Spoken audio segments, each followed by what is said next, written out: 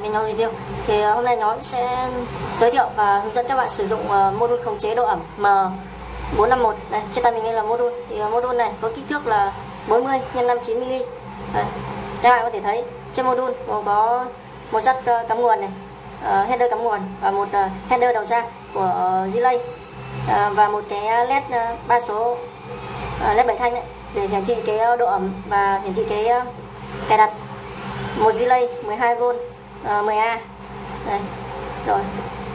Thì uh, điện áp các bạn uh, điện áp các bạn cấp vào ở đây là 12V DC đó. Uh, dòng của cái module này tiêu thụ khá là thấp chỉ khoảng 0 0,05A đó. và giải đo nhiệt à, giải đo độ ẩm là từ 0 00 đến 99 phần và sai số là 5 phần trăm. Thì cái module này sử dụng à, đây. Quan trọng nhất là cái con à, cảm biến độ cảm biến độ ẩm ở đây. Thì ở đây người ta sử dụng là SHT 20 đây các bạn có thể nhìn thấy kèm biến độ ẩm SHT 20 Đó. thì cái module này các bạn có thể ứng dụng nó trong à, việc là khống chế độ ẩm trong các cái uh, lò sấy lò sưởi hay là hệ thống làm lạnh đấy. Rồi. Thì uh, bây giờ mình sẽ hướng dẫn các bạn sử dụng này. Đầu tiên các bạn sẽ cắm nguồn uh, 12V vào đây. Và ở đây đầu ra là Ờ, đầu ra của relay thì các bạn có thể đóng ờ, đóng ngắt dòng điện một chiều hoặc là xoay chiều. Thì ở đây mình không có quạt hay là cái gì thì mình sẽ sử dụng cái bóng đèn ở đây để hiển thị, thể hiện cái sự ờ, khống chế khống chế của cái module này.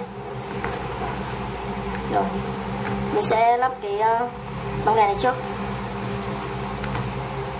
Thì cái bóng đèn cái lắp relay thì cũng giống như các cái module relay khác. Các bạn giữ nguyên một dây ở bóng đèn này và một dây còn lại thì uh, cắt ra cắt làm đôi và đấu vào cái header ở đây.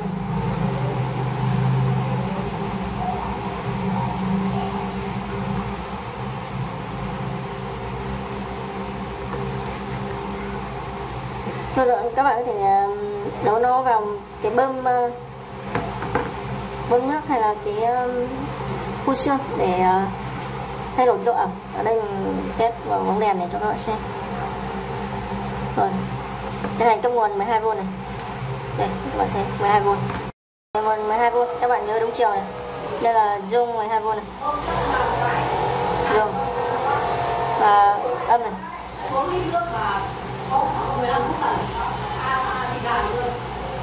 Đó. À, thì à, bây giờ mình sẽ nói qua về cái nguyên tắc hoạt động của nó. Thì đây mình đã viết ở đây. Thì là cái à, mình sẽ gọi cái à, đây. Các bạn có thể cài đặt được cái độ ẩm ở phím cộng này và phím trừ đây mình gọi là độ ẩm cài đặt ở phía cộng là d cộng còn phía trừ là d trừ. Còn cái độ ẩm môi trường thì ở trên đây là dmt đó thì ở trường hợp một này trường hợp một nếu mà d cộng lớn hơn d trừ thì là khi mà độ ẩm môi trường lớn hơn d cộng thì là relay đóng còn uh, nhỏ hơn cái à, um, d trừ thì là relay ngắt. Và trường hợp thứ hai nếu mà d cộng chúng ta cài đặt nhỏ hơn d trừ thì là khi độ ẩm môi trường lớn hơn d trừ thì là relay ngắt. Còn uh, độ ẩm môi trường mà nhỏ hơn d cộng là relay đóng bây giờ mình sẽ test cho các bạn xem. Thì đây mình test với cái bóng đèn. Các bạn có thể uh, kết nối nó với lại các cái uh, hệ thống phun xương uh, tạo độ ẩm. Đây. trường hợp thứ nhất này. Nhất d cộng lớn hơn d trừ để vào cái chiều cài đặt. Các bạn nhấn giữ cái phím cộng hoặc phím trừ khoảng 3 giây. Đây phím cộng này. Khi mà đèn nháy chúng ta vào chế độ cài đặt phím d cộng này mình sẽ cài đặt d cộng vào khoảng 85 85 rồi đợi một vài giây trở về cái ờ, độ ẩm môi trường là nó đã lưu được cái giá trị và phím d trừ chúng ta cái là tương tự. Đó. Mình sẽ cho nhỏ hơn là khoảng 82 OK, bây giờ mình sẽ tiến hành cấp nguồn cho cái bóng đèn đây. Đây thì tại độ ẩm ở đây là 69% mình sẽ tăng ở này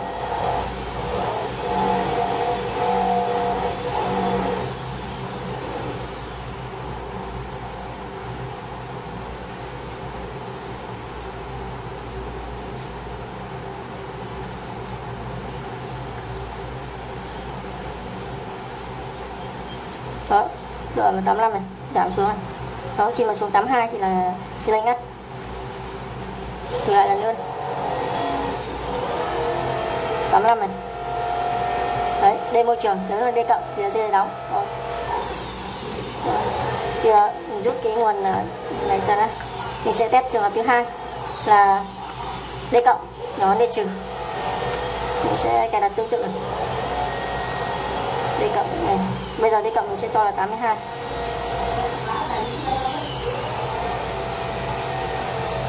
Vâng. à.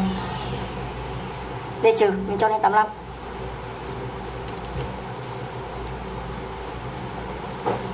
rồi. Thì uh, ban đầu này các bạn thấy D môi trường nhỏ hơn D cộng nhỏ hơn 82 đấy là gì lấy đóng này đóng là đèn sáng này. Đó. Khi mà độ ẩm của môi trường lớn hơn D trừ này. 85 đấy. Đó. Thì là thì là ngắt này về 82 rồi 82 là dây lấy đóng? Rồi. Ok. Thì cái ờ, video giới thiệu về cái ờ, module khống chế độ ẩm của nhóm này là kết thúc. Thì các bạn có thể ứng dụng nó vào các cái hệ thống ờ, khống chế độ ẩm như là lò sưởi hay là cái cái lò lò bảo quản đấy để quan trọng về độ ẩm. Rồi. Thì video của nhóm này là kết thúc. À, hẹn gặp lại các bạn ở các video lần sau.